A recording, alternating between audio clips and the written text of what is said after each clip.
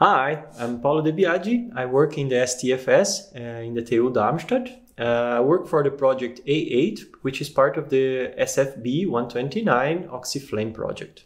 In order to substitute uh, and support the transition from fossil fuels to renewable energy, we need to understand the characteristics and, uh, of the fuel and the characteristics of combustion of such a fuel. This, for example, is a sample of walnut shells, uh, very thin, grinded, and this is one object of study in our project.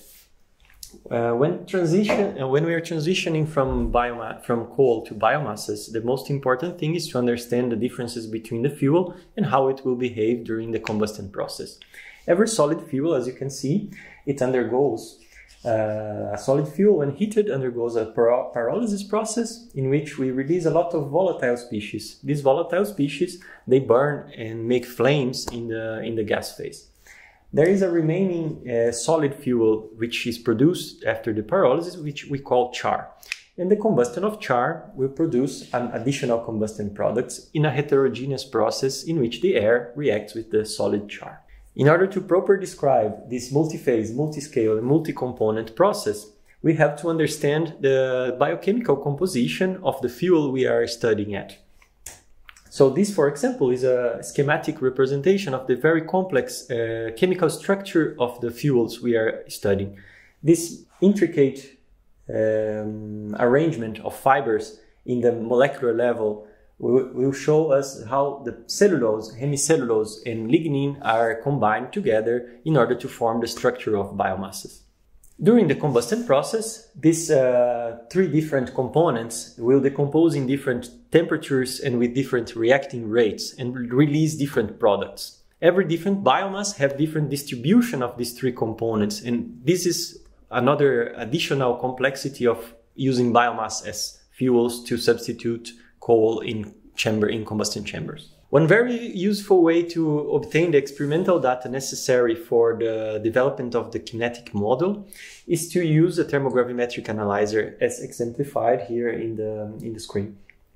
A very tiny amount of uh, the, the sample we want to analyze is put into a chamber on the order of milligrams, around 10 to 50 milligrams of the sample is put there and there is a program of heating in which you heat the biomass until the temperature of the composition, and then you can observe the mass loss of that, uh, that fuel in order to describe the decomposition profile of such a, a sample. In the framework of the Collaborative Research Center, uh, we have some groups that specifically do the experiments that is required, similar to uh, thermogravimetric anal analysis and also other experiments.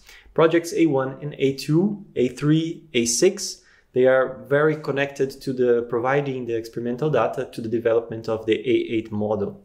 Uh, this is one test case in which we put all the necessary information for the simulation program to, to run, all the operating conditions, the characteristics of the fuel, and then we can run the simulations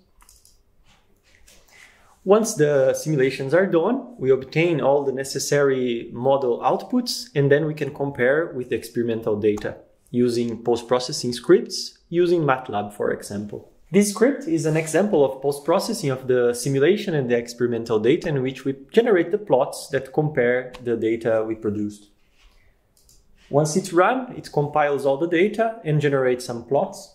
Here, for example, you can see the, the composition profile, the mass loss, relative mass loss of the cellulose in different heating rates, 1 Kelvin per, per minute, 10, 100, and 1000. And based on this data, we can model the kinetics for such a process.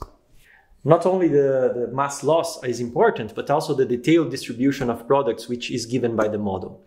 The most impressive thing about the OxyFlame uh, uh framework is the way the sub-projects are so well connected in which they provide the experimental data necessary and then the model is transferred to large-scale CFD simulations. And in my opinion, uh, this strong collaboration between the projects, it's what makes the, this CRC so relevant to paving the, the transition between fossil fuels into renewable energy for our future.